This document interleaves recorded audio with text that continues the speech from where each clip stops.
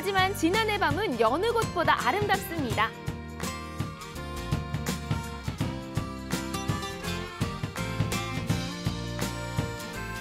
해가 지고 나니까 마이산이 이렇게 아름답게 변했습니다. 이 산 중에 꽁꽁 숨겨둔 이 별빛 나라에 온 것 같아요.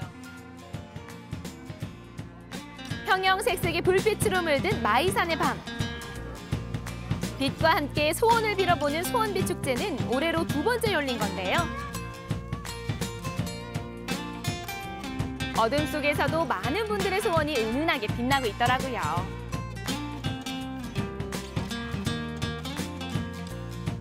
야 오늘 지난해 와가지고 이 새해부터 좋은 기운과 이 따뜻한 마음을 담아갑니다. 2019년 출발이 좋아요. 여러분도요 올 한 해 행복하시고.